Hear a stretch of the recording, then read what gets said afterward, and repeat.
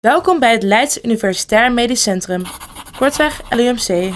Een modern universitair medisch centrum voor patiëntenzorg, onderwijs en onderzoek met een hoog kwaliteitsprofiel en een sterke wetenschappelijke oriëntatie. Het LUMC koppelt wetenschappelijk onderzoek aan patiëntenzorg en onderwijs naar de laatste internationale inzichten en standaarden. Door de unieke onderzoekspraktijk gericht op toegepast klinisch onderzoek en fundamenteel onderzoek speelt het LUMC mee in de wereldtop. Verbetering van de gezondheidszorg in eigen huis en daarbuiten is het doel. Er werken in totaal zo'n 7000 medewerkers bij het LUMC. Daarnaast is het LUMC een kenniscentrum voor maatschappelijke vraagstukken rond volksgezondheid. En is het een centrum voor na- en bijscholing voor medische professionals. Het LUMC vormt een vruchtbare driehoek met de Universiteit Leiden en het Leiden Bioscience Park. Zo ontstaan er unieke kansen voor medische innovatie.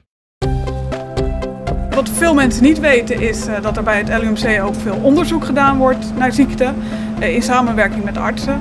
Uh, een voorbeeld daarvan is bijvoorbeeld Duchenne spierdystrofie. Dat is een, spierziekte die voorkomt bij jonge kinderen. Duchenne spierdystrofie is een spierziekte die eigenlijk alleen bij jongens voorkomt.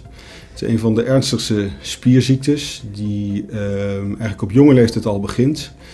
Jongens die net kunnen lopen, uh, daar merk je aan dat het lopen vaak niet zo snel gaat. Ze kunnen niet zo goed rennen, ze vallen ook vaker. En uh, geleidelijk worden de spieren eigenlijk zwakker. Dat betekent dat ze vaak al voordat ze de puberteit bereikt hebben in een rolstoel terechtkomen. En ook daarna gaat de zwakte van de armspieren door en worden ook de spieren die betrokken zijn bij de ademhaling en de hartspier steeds zwakker. En uh, de jongens of mannen hè, dan ook op, uh, op latere leeftijd vroeger overlijden aan de, aan de spierziekte. En uh, daar is nog geen, geen medicijn voor. En in samenwerking met de artsen doen we veel onderzoek hier om te kijken of om te proberen om een medicijn te ontwikkelen. En als dat er dan veelbelovend uitziet, dan is de volgende stap dat we met dat mogelijke medicijn naar het Bioscience Park hier toestappen. In ons geval was dat Procenza.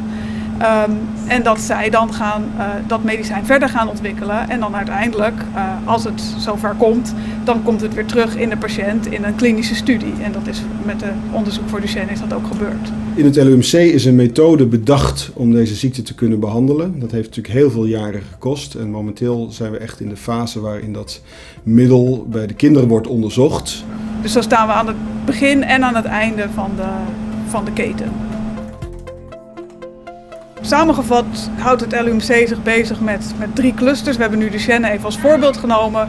Daarbij komt duidelijk naar voren dat we ons bezighouden met onderzoek, het ontwikkelen van medicijnen, uh, patiëntenzorg en ook het onderwijs, het opleiden tot, van nieuwe artsen.